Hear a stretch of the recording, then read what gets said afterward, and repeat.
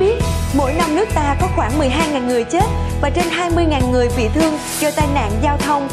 Năm 2012, cả nước có gần 50.000 trường hợp chấn thương sọ não, trong đó hơn 13% là trẻ em. Quý vị các bạn thân mến, chấn thương đầu là tai nạn thường hay gặp khi chúng ta tham gia giao thông hoặc là trong cuộc sống hàng ngày của chúng ta. Nếu như sớm phát hiện và bên cạnh đó can thiệp kịp thời và điều trị đúng cách thì sẽ có cơ may cứu sống rất lớn và ít bị di chứng.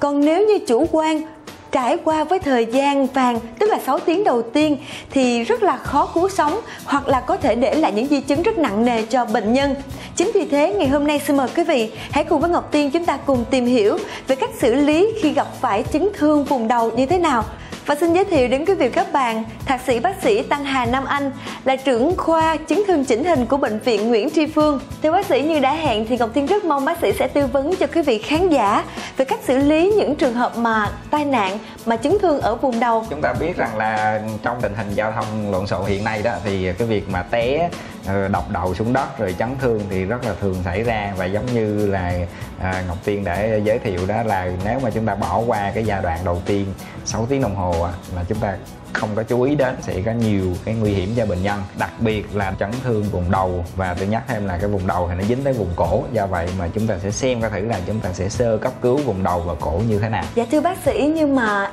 như vậy đầu tiên chúng ta làm như thế nào để có thể nhận biết được là à, người đó đang bị tai nạn chấn thương ở vùng đầu hay là cổ cái chuyện đầu tiên khi bệnh nhân bị chấn thương đầu đó thì chúng ta phải xem coi thử là trên đầu bệnh nhân có vết thương hay không. Và cái xương đầu đó nó có bị lộ ra ngoài và nó có thể là chúng ta nhìn qua đó chúng ta nhìn thấy những cái mô, nhu mô não nó lòi ra ngoài và trắng trắng. Thì là cái đó là cái rất là quan trọng và chúng ta phải gọi ngay à, 115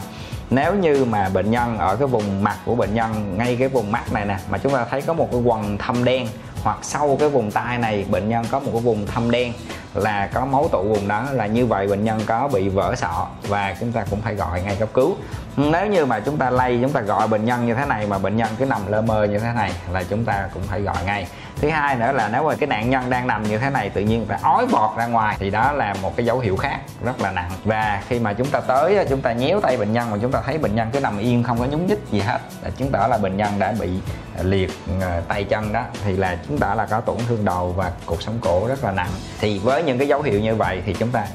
nên gọi, nhờ những cái người đi đường gọi gấp cấp cứu 115 và trong thời gian mà chờ cái đội cấp cứu đến thì ngay tại hiện trường mình phải sơ cấp cứu cho bệnh nhân vì cái động tác sơ cấp cứu của mình nó quan trọng để cho cái tiên lượng cho bệnh nhân đi đến bệnh viện nó sẽ khác nhau. Tôi lấy ví dụ bệnh nhân hiện tại ví dụ bây giờ tôi nhéo cái bệnh nhân cử động được nhưng mà bệnh nhân đang lơ mơ. Nhưng mà nếu mà mình sơ cứu sai làm cho gãy cột sống cổ làm cho bệnh nhân bị liệt cái chi này thì là cái tiên lượng hoàn toàn khác nhau. Bây giờ thì chúng tôi sẽ uh, tiến hành uh, hướng dẫn quý vị là làm cách nào để sơ cấp cứu một cách đúng cách cho bệnh nhân. Chúng ta biết rằng là khi bệnh nhân mang một cái nón trùm đầu như thế này thì đầu tiên chúng ta để bệnh nhân nằm yên không có di chuyển gì hết. Chúng ta sẽ giữ cái người mà, cái người mà đầu tiên đó, chúng ta sẽ giữ cái cầm bệnh nhân. Bốn ngón tay chúng ta sẽ để như thế này. Chúng ta giữ cầm bệnh nhân thật chặt và như vậy phụ tá của tôi sẽ bắt đầu là tháo cái quai ra. Và khi phụ tá tôi tháo cái quai ra rồi, tay bên phải của anh đó thì sẽ đặt ngay dưới cái ót của bệnh nhân. Và một tay bên kia sẽ giữ ở phía trên cổ. Chúng ta đừng có siết mạnh ở đây, vì chúng ta siết mạnh thì chúng ta lại siết cổ bệnh nhân. Chúng ta để để giữ yên cái đốt sống thôi. Và như vậy tôi sẽ luồn cái tay tôi ra và tôi kéo cái nón đi một cách từ từ. Tôi kéo nón tới đâu thì phụ tá của tôi sẽ đi, sẽ đẩy cái bàn tay lên để đỡ cái đầu của bệnh nhân và như vậy thì chúng ta thấy cái cổ được giữ yên. Và khi lấy được cái nón ra rồi thì tôi sẽ đặt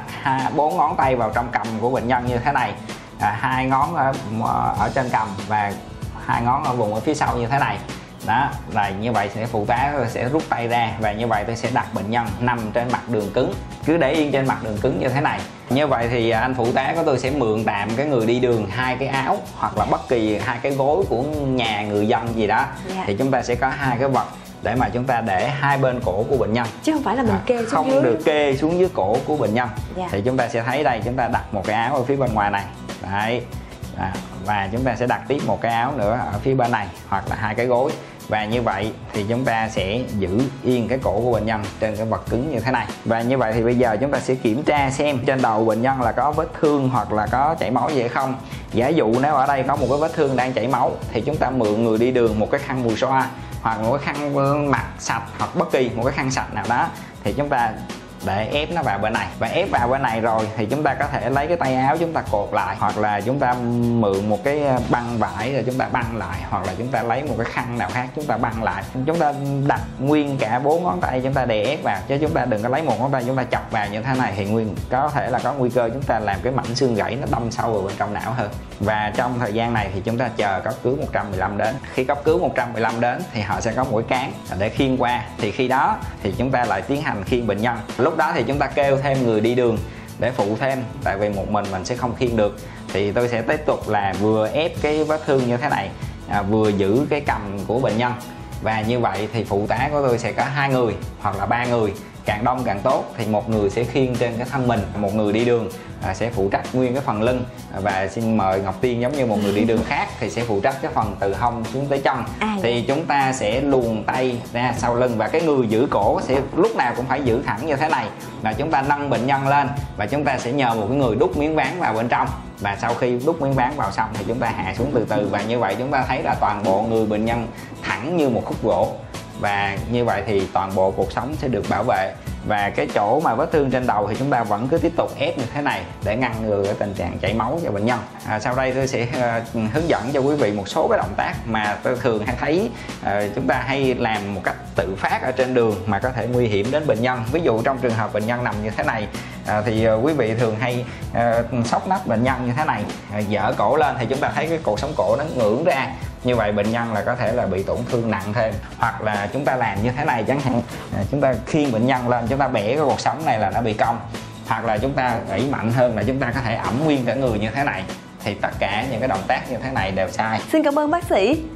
Và thưa quý vị các bạn, với những chia sẻ vừa rồi của bác sĩ, khi chúng ta gặp phải trường hợp tai nạn bị chấn thương ở vùng đầu, rất mong quý vị các bạn chúng ta hãy cùng lưu ý những điều sau đây. Khi thấy có tai nạn nên gọi cấp cứu 115 gọi mọi người xung quanh hỗ trợ, không rửa vết thương đầu, không nên bế sóc nạn nhân, không nên di chuyển nạn nhân bằng xe máy. Trong trường hợp còn tỉnh táo, nạn nhân cũng không nên chủ quan khi bị chấn thương vùng đầu. Thưa quý vị, với những thông tin vừa rồi mà chương trình gửi đến, chúng tôi hy vọng quý vị sẽ có thêm được những kinh nghiệm để xử lý khi gặp phải tai nạn chấn thương ở vùng đầu, để giảm thiểu rủi ro cho người gặp phải tai nạn và cũng như những người thân yêu của mình. Và nếu như quý vị có bất kỳ thắc mắc và những đóng góp và cũng như là yêu cầu về mẹo kỹ năng nào, xin mời quý vị hãy gửi cho chương trình của chúng tôi theo địa chỉ email vui sống mỗi ngày a chu thị com vn Xin chào và hẹn gặp lại!